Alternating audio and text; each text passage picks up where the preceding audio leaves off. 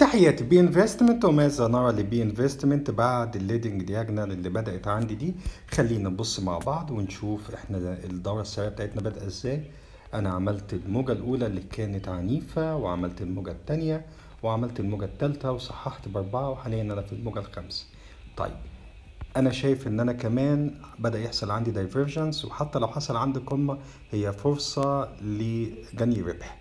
ليه أنا بقول الكلام ده؟ بقول الكلام ده بمنتهى البساطة. طيب أنا قلت في الموجة ال leading diagonal اللي بيكون الموجة الأولى أطول بتبقى الموجة الثالثه لن تكون الموجة الثالثه اقصر طيب أنا عندي بالنسبة لي هنا الموجة الأولى أطول من الموجة الثالثه آه طيب.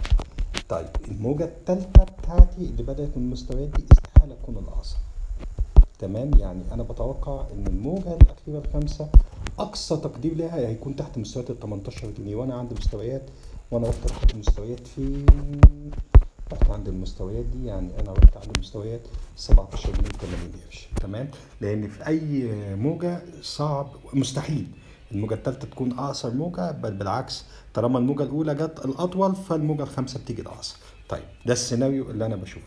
طيب أنا مستني إيه من بي إنفستمنت أنا ما بقولكش أخرج أنا بقول لك تنتظر تصحيح محترم لكل الدورة السعرية دي يقربك من منطقة الطلب دي وتستهدف الشراء مرة تانية وتعزز الشراء. طيب أنا ممكن يرجع الأسعار بيها لحد فين؟ ممكن نرجع لحد مستويات 16 جنيه لحد مستويات 15 جنيه ونص. كمان أنا ممكن آخد Fibonacci retracement وآخد تصحيح لكل الدورة السعرية دي. تمام واستخدم مستويات ال 38 fibo إلى 50 fibo. هتلاقينا من مستوى 16 لحد ال 15 جنيه و 63 قرش. ولما بيكون عندي leading diagonal يا جماعة والموجة الأولى عنيفة غالبا التصحيح بيكون دايما قرب مستويات ال 38 لل 50 fibo يعني أنا في منطقة الطلب بتاعتي دي أشيل بس دي منطقة الطلب بتاعتي دي أنا هوسعها شوية تمام؟ عشان بس إيه؟ آه نكون الدنيا أكثر اتضاحا. مش عايز أيوه. اللي هو أستهدف بيها إيه؟ أستهدف بيها المناطق اللي ما بين ال 16 جنيه لحد مستويات ال 15 جنيه و60 قرش.